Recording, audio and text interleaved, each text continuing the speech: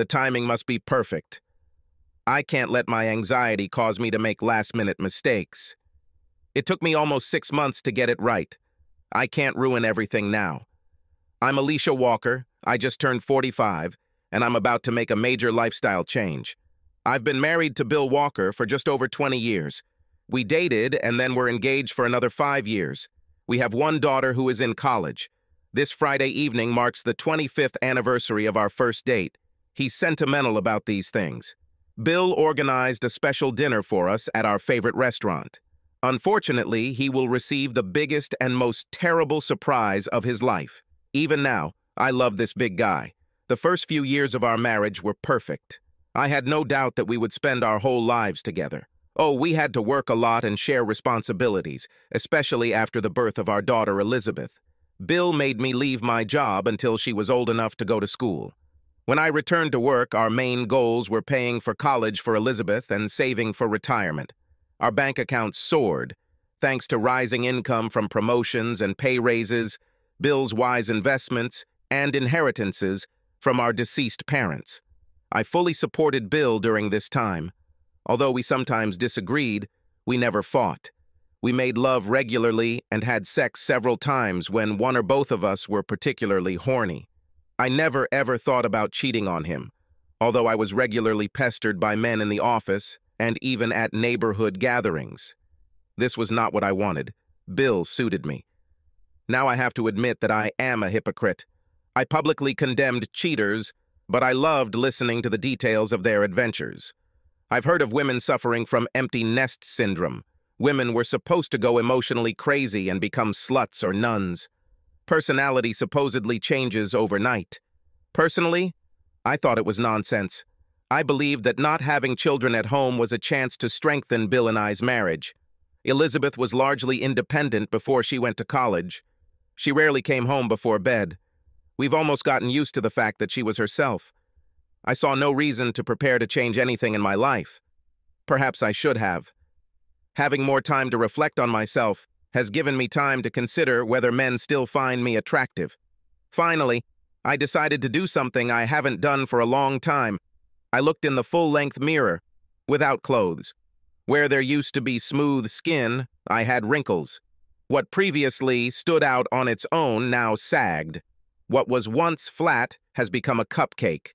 What was once wide now deserved a wide sign. I began to pay attention to men's compliments and double hints. Either I wasn't paying attention, or the interest of men other than my husband had waned. I started working out more, wearing more makeup and dressing to highlight my best features, my breasts.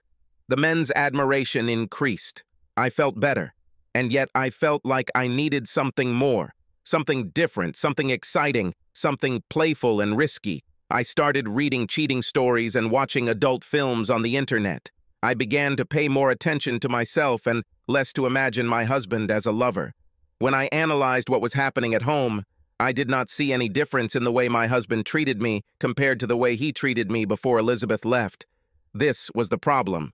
Everything was the same as always. Oh, I received compliments from him. He never missed a birthday or anniversary. We still had sex regularly, but it was the same old compliments and the same old sex. Nice, but it felt like a rerun rather than the original episodes. I wanted change, a boost of energy. I thought I was giving Bill a chance to give me a change. I tried to interest Bill in different sex positions and different techniques to spice things up. The poor guy tried, but there was no excitement for me. The sexual activities were different and all were well, but it was still the same old Bill with his old familiar and predictable actions.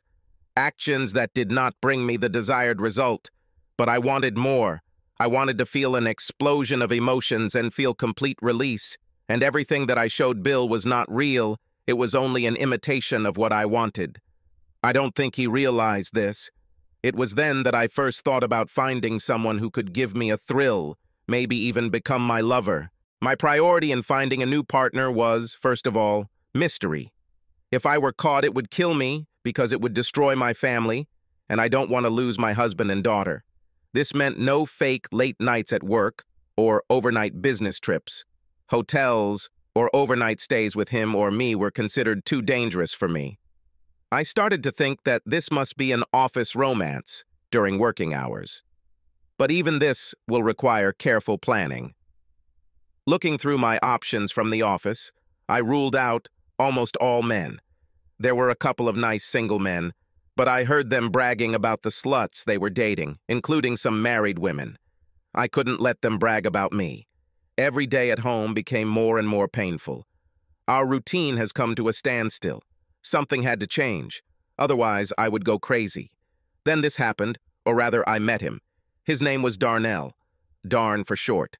Some other men said, damn, and then laughingly apologized for getting his name wrong. About six months ago, he took a mid-level position in the office. All the women paid attention to his appearance and charm. I was afraid that several women would try to rape him. They did it with their eyes, of course. Although he flirted a little, he never seemed to seek any kind of relationship beyond the friendly and professional. I noticed that he held his gaze and smiled for several seconds when he looked at me. My heart was fluttering, and I was looking forward to meeting him.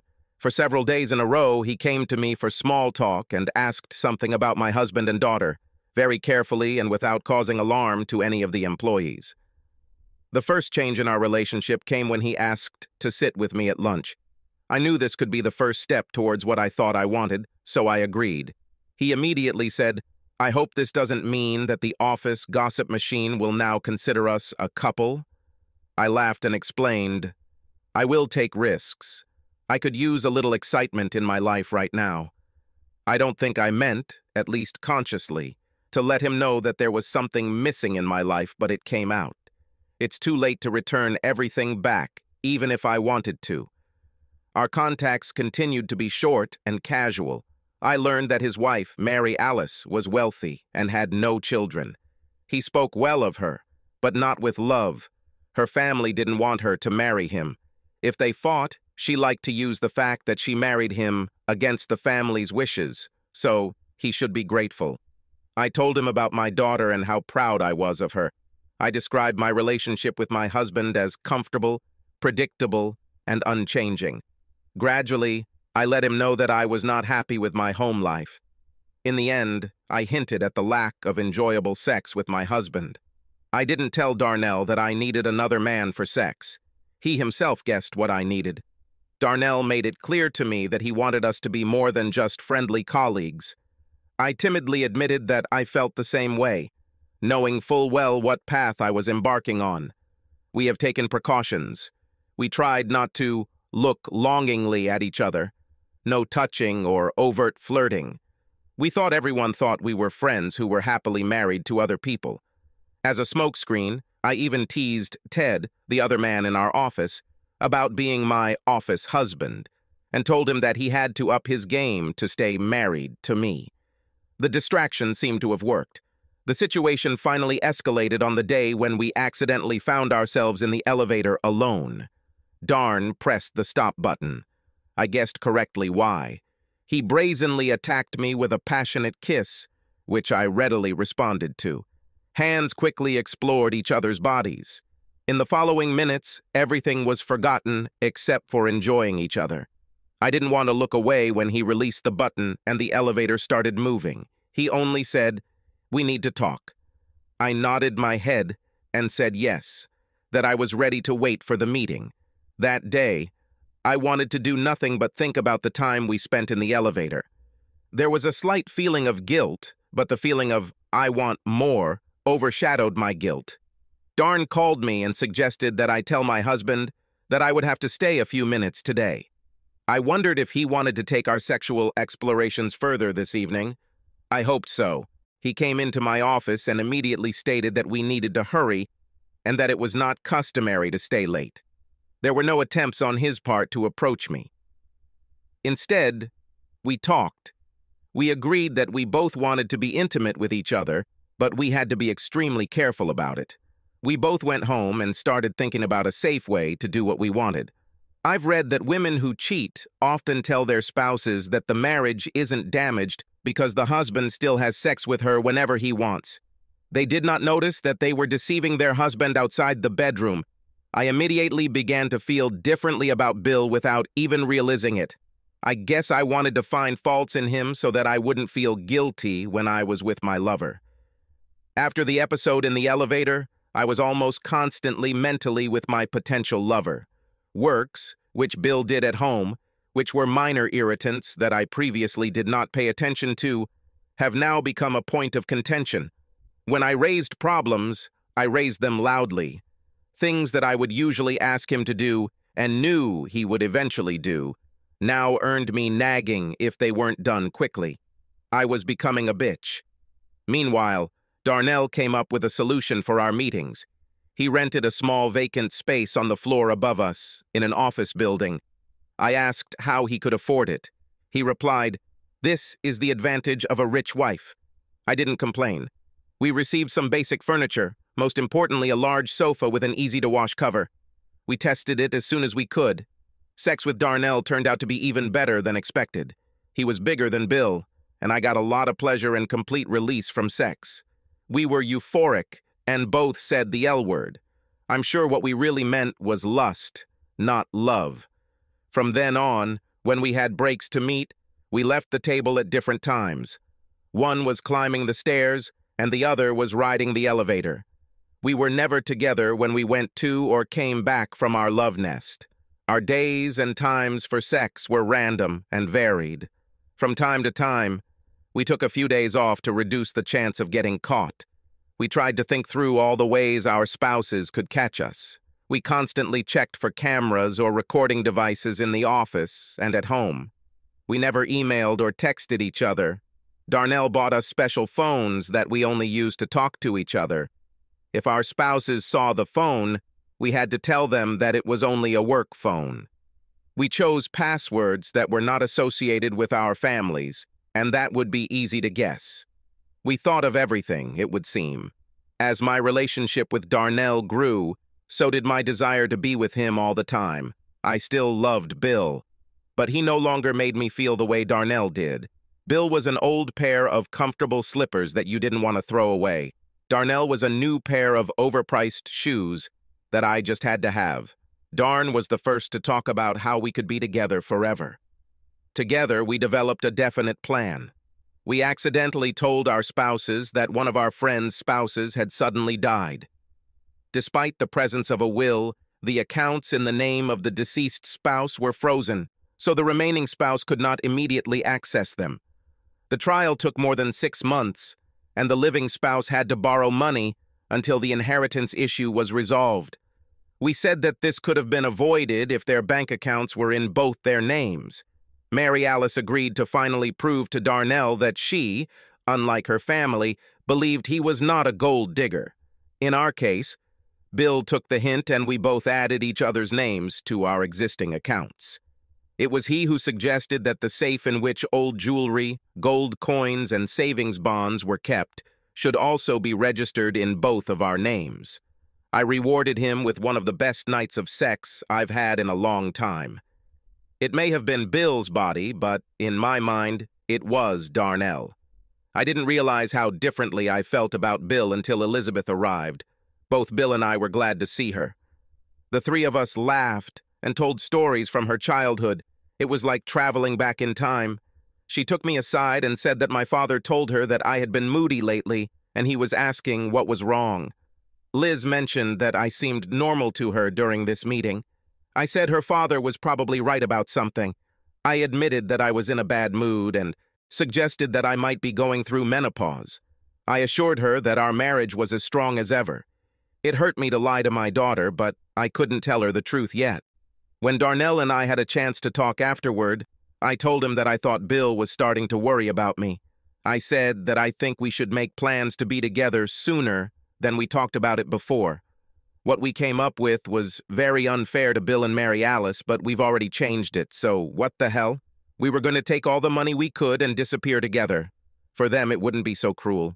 Both of our spouses had access to a lot of money, Bill through his job and Mary Alice through her family. Neither of them will suffer financially for too long.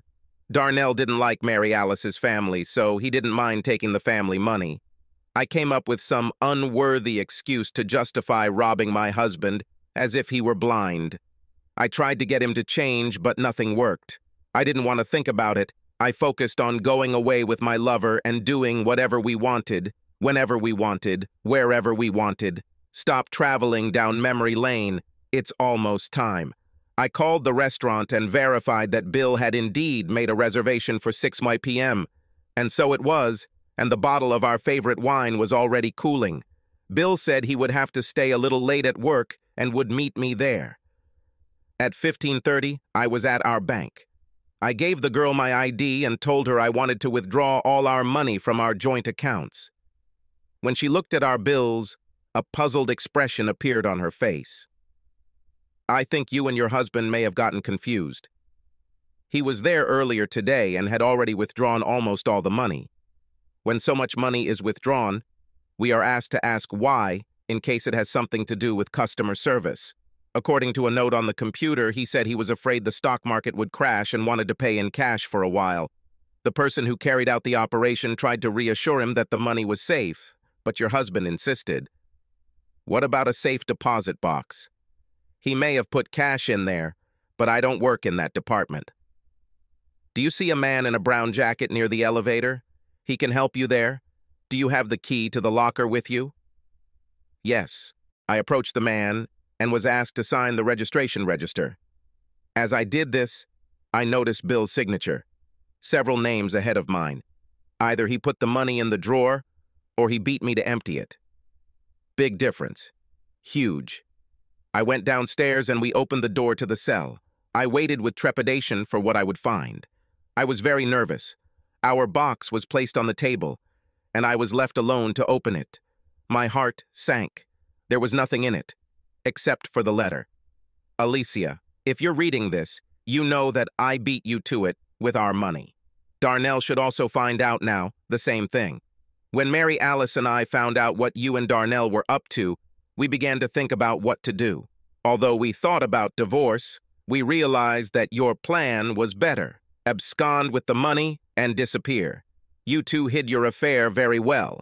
If you want to blame someone for us finding out about this, blame the telemarketer who called you on your other cell phone while you were in the other room. Obviously, you turned off the sound, but not the vibration alert.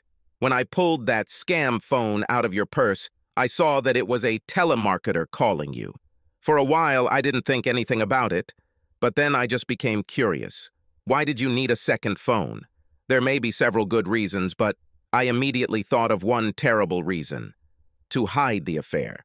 I considered this reason as a justification for your recent behavior, but I did not hint to you that I was beginning to doubt, despite other signs of betrayal.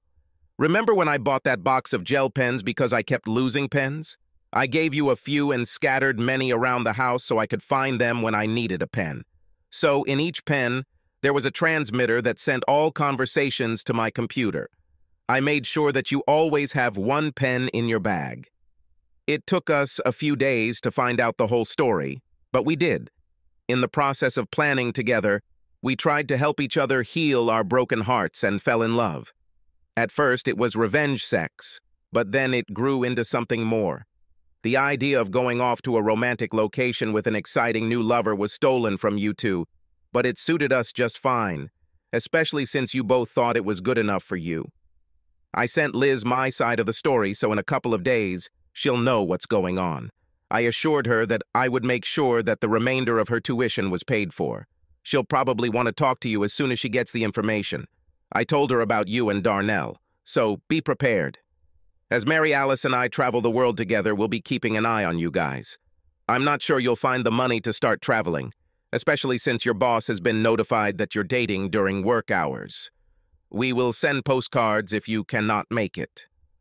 By the way, Mary Alice and I recently canceled your airline ticket. I don't think you'll want to leave the country without cash or credit cards. One of the things I told Mary Alice that I didn't tell you was that I had a nickname that I got in elementary school. I was called Toad after I played the role of a frog in a school play. This fact made me think about another way to part with a loved one not mentioned in the Simon and Garfunkel song. My version of what we do is take it for the road, Toad. I'm sure this isn't funny to you or Darnell. It's a pity. We like it. I think I should thank you for almost 20 years of marriage and a wonderful daughter. Somehow, hearing what you really think of me as a husband and lover and what you plan to do to me makes it difficult for me to play well. Either way, I hope sex with Darnell was worth it. At least you still have it. Goodbye, Bill and Mary Alice.